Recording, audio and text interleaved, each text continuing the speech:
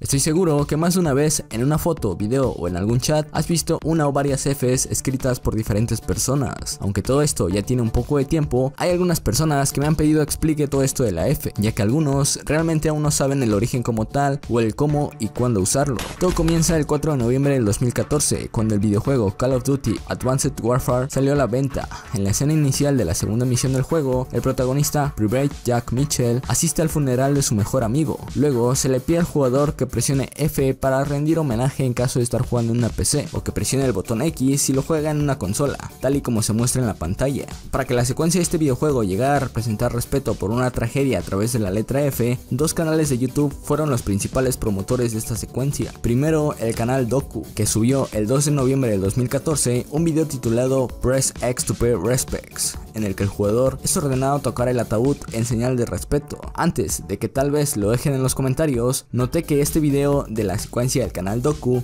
fue subido dos días antes del lanzamiento del videojuego. Realmente no sé por qué, pero pudo haber sido una filtración de alguien con acceso anticipado, si es que la hubo, porque otro motivo no sabría decírselos, pero bueno, los videos los tienen abajo para que saquen sus propias conclusiones. Ahora pasemos con el otro canal de YouTube que también impulsó todo esto de la F. Esto ya como F, no como la X del video anterior. En este caso se trata del canal NFKRZ, no sé cómo se pronuncia, así que lo deletreo. De todas formas, como ya lo mencioné, los dos videos los tendrán abajo en la descripción. El video de este canal es titulado Code Advanced Warfare Intense Respect Pay, el cual es un video bastante random así que vayan a verlo para que saquen sus propias conclusiones. El total de reproducciones hasta la fecha de estos dos videos da como resultado más de 800.000 visitas. En los memes ingleses se referían principalmente a algunas cosas que dejaron de existir, como por ejemplo Windows 7, o cuando fallecía alguna celebridad importante. También, al igual que nosotros, los hispanohablantes usaron la letra F para mostrar señal de respeto ante alguna tragedia provocada por cualquier tipo de desastre, ya sea un desastre insignificante